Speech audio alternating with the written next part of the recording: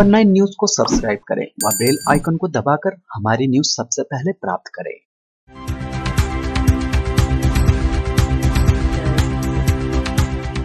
नमस्कार, आप देख रहे खबर नाइन और मैं हूँ आपके साथ प्रिया। ज़िले में आज एक ऐसा मामला संज्ञान में आया है, जिसे सुनकर आपके पैरों तले ज़मीन खिसक जाएगी। मामला प्रेमिका से शादी करने की ज़रूरत पड़ने वाले पैसों का है।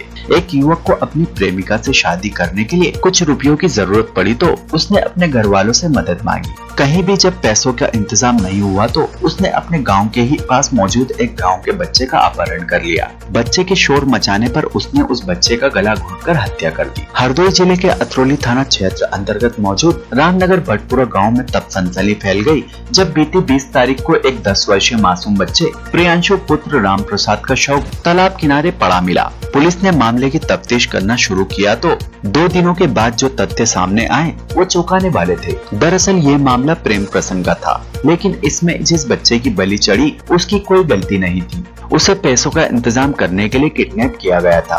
अतरौली इलाके के सुनील कुमार यादव ने प्रियांशु को इसलिए किडनैप किया था कि क्योंकि उसे अपनी उन्नाव में मौजूद प्रेमिका से शादी करनी थी। हालाँकि सुनील ने परिजनों से भी पैसे की मांग की थी, लेकिन उसे कोई सहायता नहीं प्राप्त हुई, जिसके बाद उसने इस संगीन वारदात को अंजाम दे डाला। प्रियांशु के शोर मचाने पर उसने उसका गला दबाकर हत्या कर डाली। प्रभारी निरीक्षक अतरौली उमाशंकर उत्तम, निरीक्षक Irshad Tyagi, head constable Santosh Kumar Singh, constable Amirul Haq, Pankaj Kumar ने हत्यारे को गिरफ़्तार करने में सफलता प्राप्त की। पूरे मामले की जानकारी से पुलिस अधीक्षक आलोक प्रियदर्शी ने मीडिया को अवगत कराया। परसों एक प्रियांशु नाम का बच्चा उम्र आठ साल अपने घर से गायब हो गया था और घर वालों की उसकी सूचना दी पुलिस को। पुलिस ने मुकदमा लिख करके उसमें अपनी कार्रवाई शुरू कर दी और 24 घंटे के अंदर पुलिस ने इस केस का खुलासा करके अभियुक्त की शिनाख्त पे बच्चे की लाश बरामद कर लिया है। अभियुक्त का नाम है सुनील जो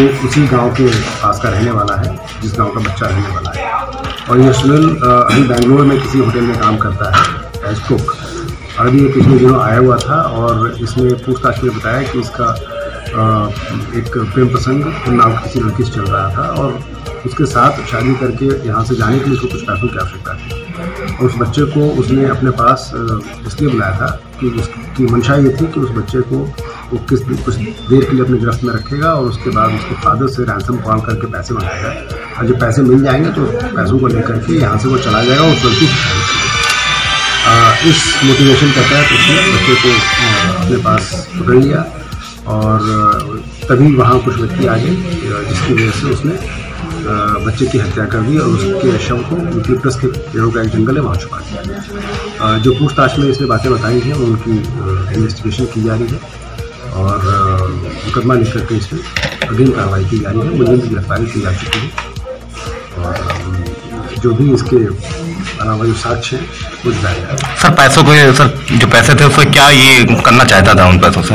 पैसे लेकर के इसका इरादा था कि वो जो लड़की जिससे जिसको ये प्यार करता है वो नाम की लड़की रहने वाली है उसको लेकर के यहाँ से चला जाएगा और जा करके शादी करके रहने लगेगा उन पैसों से इस काम में उसको मदद यूपी के हरदोई से अखिलेश सिंह की रिपोर्ट। आज की खबरों में बस इतना ही, बने रहिए हमारे साथ खबर नाइन में।